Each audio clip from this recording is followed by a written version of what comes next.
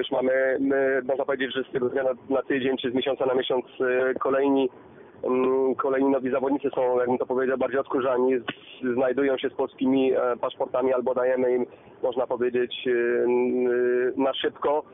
Więc ja uważam tak, jeżeli ktoś jest w stanie naszej reprezentacji pomóc, to jak najbardziej, ale jeżeli to ma idzie mm, w ilość, a nie w jakość, to nie, to nie tędy droga. Wydaje mi się, że mm, wydaje mi się, że warto załóżmy y, takiego zawodnika Melikson walczyć y, o niego. Y, jego mama bodajże jest Polką, prawda?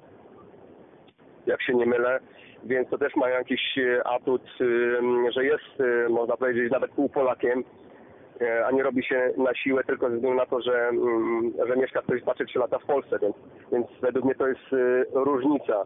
E, nas- Nastały takie czasy, a nie inne.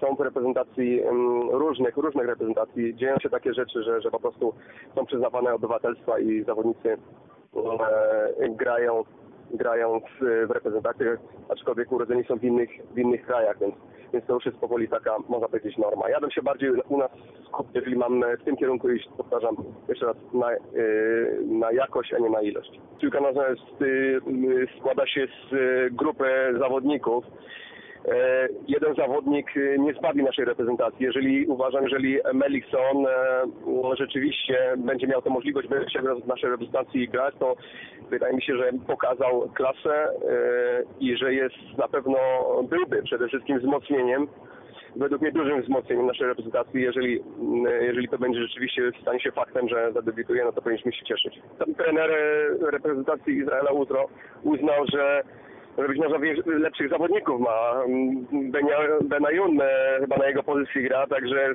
patrząc, Benayoun nie jest aż e, takim starym zawodnikiem, żeby w najbliższym czasie zrobił e, miejsce któremuś z więc być może to też był taki jeden z, jakby to powiedzieć, warunków, dlaczego, dlaczego Melikson zdecydował się grać w reprezentacji.